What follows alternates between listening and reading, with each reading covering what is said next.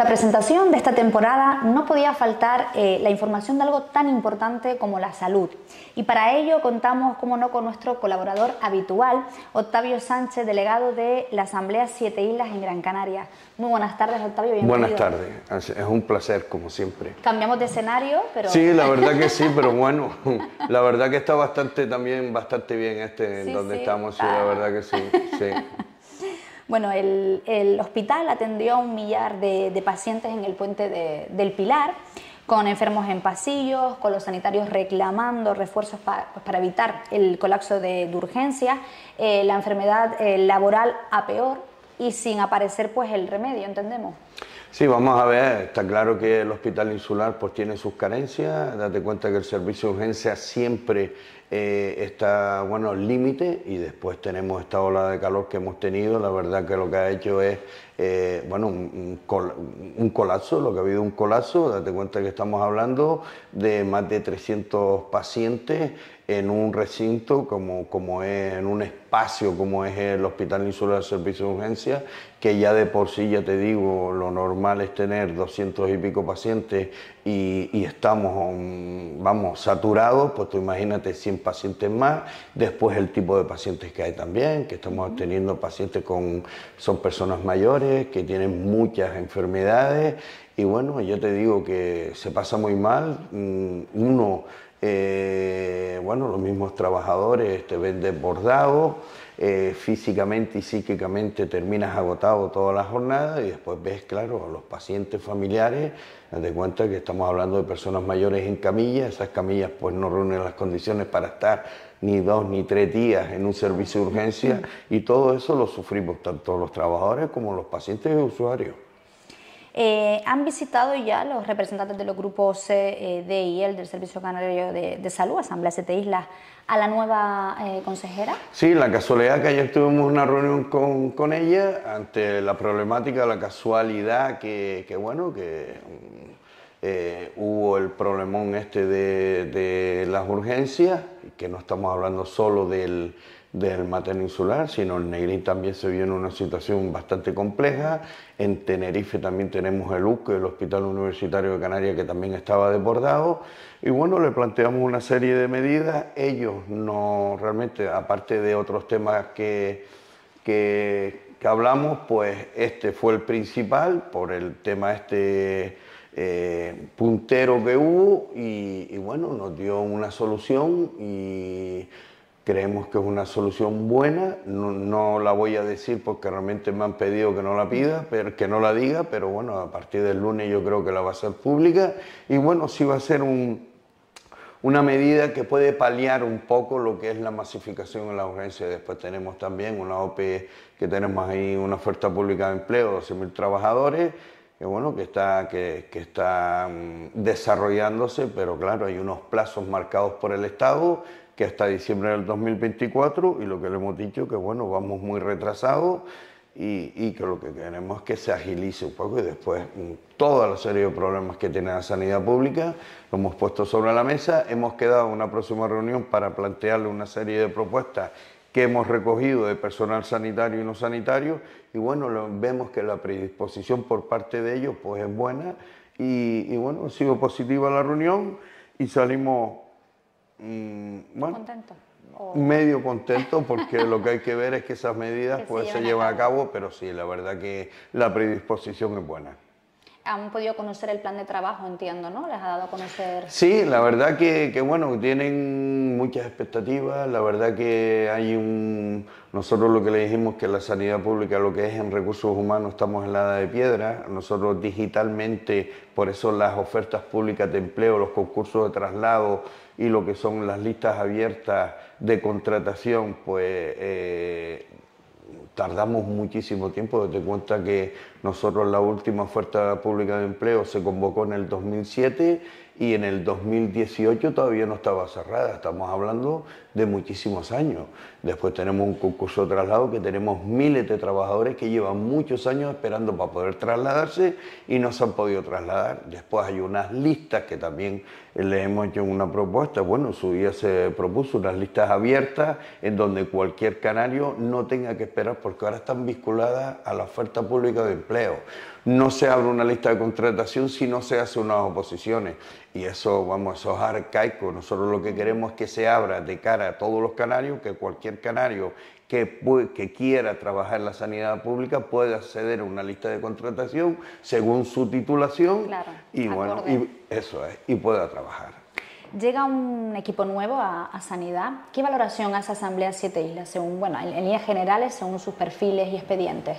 Hombre, vamos a ver. Mm, al principio éramos bastante escépticos porque, claro, son gente que no conocíamos. Date cuenta que la sanidad siempre se ha movido con gente de dentro. Estos son gente que no son conocidas, pero se han estado trabajando en el Servicio Canario de Salud y después de la reunión que hemos mantenido son gente joven, vienen con ganas y, bueno, mm, realmente, mm, ya te digo, salimos satisfechos porque vemos que tienen bastantes iniciativas, tienen bastantes ganas y bueno, nosotros creemos que, que, también hay que, la juventud hay que darle un poquito, porque date cuenta que el Servicio de Salud lleva muchísimos años moviéndose siempre, eh, no con el mismo equipo, pero casi siempre casi con el mismo equipo. Ahora hemos visto que viene gente de fuera, gente joven, eh, de fuera, bueno, gente que está trabajando, pero no, está, no ha estado nunca en ese núcleo eh, duro que era el sistema sanitario público. Y bueno, ya te digo, mm, positivo, positivo sí, por su juventud, sus ganas y sus ideas, las propuestas que nos han puesto sobre la mesa y, bueno, y vamos a darle un margen de confianza porque la verdad que lo que nos han planteado nos, nos ha parecido bastante bien. Además, ustedes siempre han pedido que sean eh, personas que estén relacionadas con, con, la sanidad, o sea, mínimamente tienen que estar relacionadas con la sanidad. ¿Cumplen con estos requisitos este nuevo equipo? Vamos a ver, ellos sí han estado dentro y tenemos la consejera que fue dirección de directora de área en su día, también era gerente de, de de la residencia de Taliarte.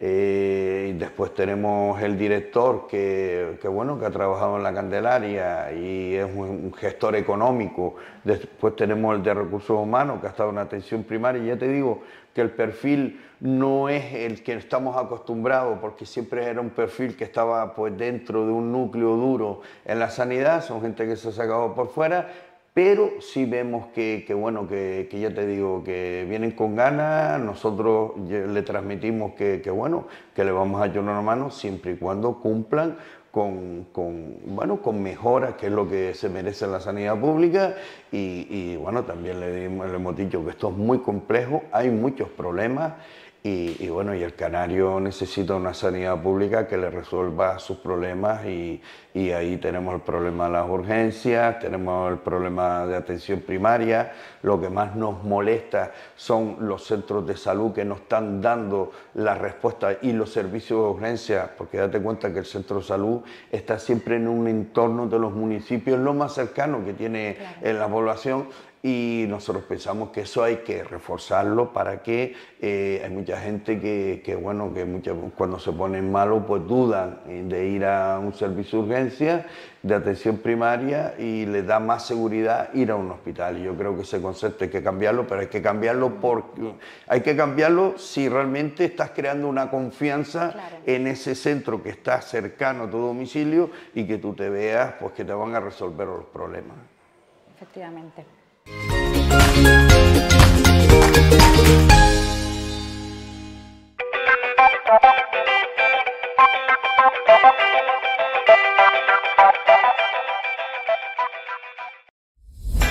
Todos los miércoles a partir de las 20 horas regresa el programa con más glamour de Factoría de Carnaval y Radio Carnaval Canarias. Lentejuelas y que brille con Alexis de la Cruz. No dejes que te lo cuenten, vívelo a la manera de nuestro carnaval. Lentejuelas y que brille, una producción de Multimedia Carnaval. Nuestro primer programa contará con la visita de la concejala de carnaval, Inmaculada Medina.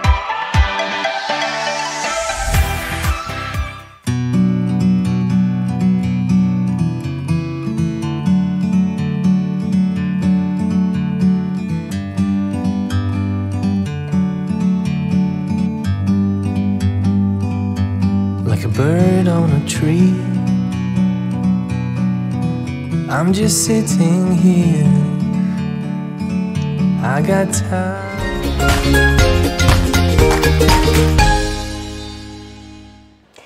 Eh, Octavio, mensaje a la población para estas fechas de, vacunación, de posibles ingresos por eh, gripes y otras eh, patologías.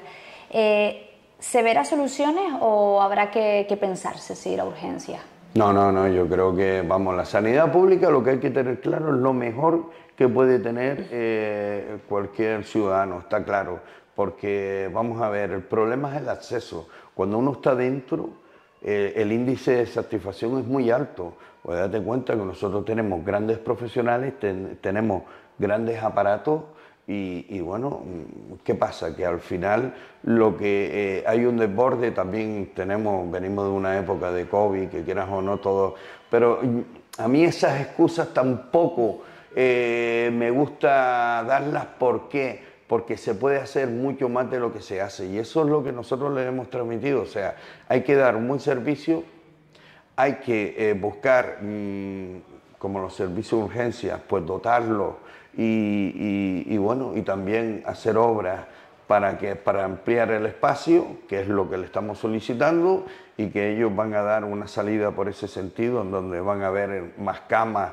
y donde va a poder la población, pues si se saturan las urgencias, pues ir a ese sitio y después te digo que, que lo que interesa es la atención primaria. Date cuenta que, que, claro, si a ti te dan hora por un especialista dentro de ocho meses y tú en esos ocho meses pues podrás ir 10 veces a urgencia y así 20.000 cosas. Entonces todo esto hay que buscarle una solución, pero que te digo que sí, va, sí van a haber soluciones, que el ciudadano tiene que tener, eh, que, tiene, bueno, que tiene que apostar por la sanidad pública y bueno, todo esto viene, proviene realmente de, de- de- de todo el desajuste que ha habido tanto en la época de COVID como en, en la población que cada vez está más envejecida, porque eso tenlo claro, el perfil de en urgencia del paciente son personas mayores y personas mayores con muchas patologías.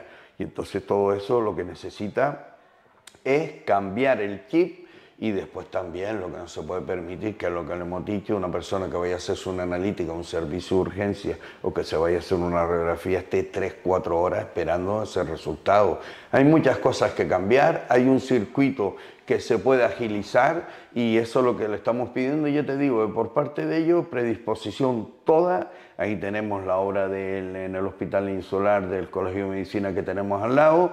Le hemos también hecho una propuesta que, además, dicho por todos los profesionales, y le voy a decir aquí, eh, vamos, están con el- la historia de poner el servicio de urgencias en la parte nueva en el Colegio de Medicina y los trabajadores lo tenemos claro, el servicio de urgencia tiene que estar dentro del hospital. ¿Por qué?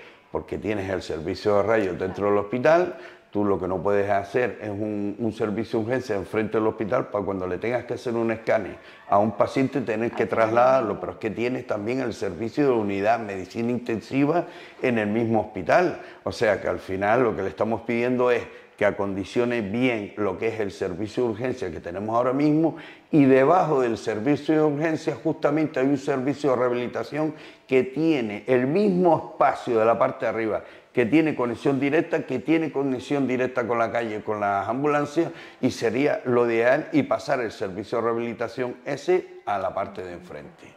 Pues a ver, a ver si se escucha. No, nosotros vamos a seguir, pero lo que está claro y el mensaje que le queremos mandar a, a la población, que como la sanidad pública no hay nada.